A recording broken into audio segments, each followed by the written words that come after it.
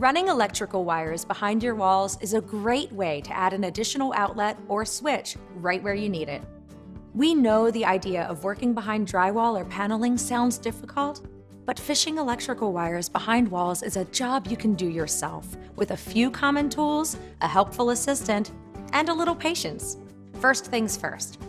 If you aren't comfortable with wiring projects, hire a professional electrician to run your new wire or cable. Check with local building inspectors before doing any electrical work to ensure compliance with local codes. Now, Let's get started. Determine the location for your new device. Then decide whether to power your new device from an existing outlet or from the breaker panel.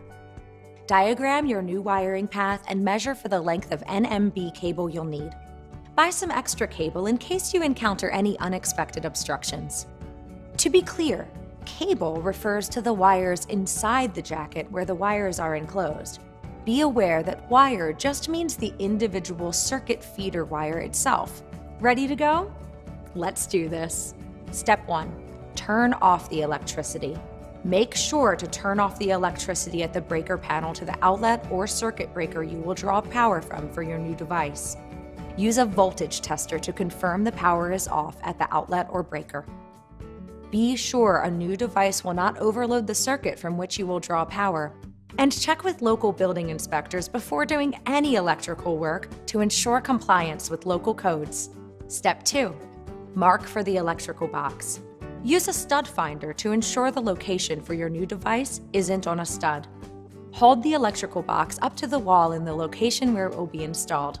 Use a level to ensure the outline is straight. Trace around the box with a pencil to mark the area to be cut. Step 3 drill a hole in the ceiling or floor.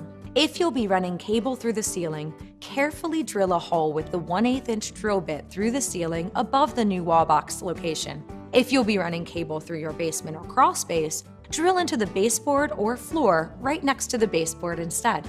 Insert a stiff wire or straightened coat hanger into the hole. In your attic or basement, look for a 2x4 beam adjacent to the protruding stiff wire in an attic, this beam is the top of the wall, known as the top plate. In a basement, it's the bottom of the wall, known as the bottom plate. If the 2x4 is under a piece of plywood or covered in another way, measure 2.5 inches from the reference wire toward the 2x4 and drill there. That should put the hole in the middle of the plate. Check with a flashlight to be sure there are no electrical wires or plumbing pipes behind the walls where you'll be working. Step 4 cut the opening for the electrical box. Drill a half inch starter hole at a corner of your electrical box outline. Start at the hole and cut along the outline with the drywall saw. It's okay if the edges of the opening are rough. You'll conceal this opening with a wall plate later. Step 5. Run the cable. In your attic, use the spade bit to drill a hole through the top plate directly above the new electrical box location. If you're running cable through a basement or crawl space, drill a hole in the bottom plate, directly below the box. Feed your fish tape into the wall opening, pushing it up into the hole you made in the top plate. If you're running cable through a basement or crawl space, push it down to the hole in the bottom plate. You can use the end of a coat hanger to pull the end of the fish tape through the hole. Step 6. Running cable past a fire block. A fire block is a horizontal beam of wood running between the wall studs. You can drill a hole through them or create a notch to accommodate your wire. To drill a hole, insert a long flexible drill bit through the opening for the electrical box and position it on the center of the fire block, then drill through the fire block.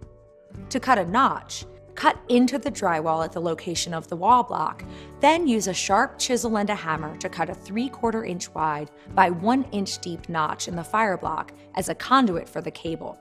Pull the cable past the fire block. After you have fished the cable through the notch, cover the notch with a metal nail plate to protect the cable from nail damage, then patch over the drywall hole. Step 7. Pull the cable through the wall. From the attic, basement, or crawl space, use electrical tape to secure one end of the cable to the hook on the fish tape.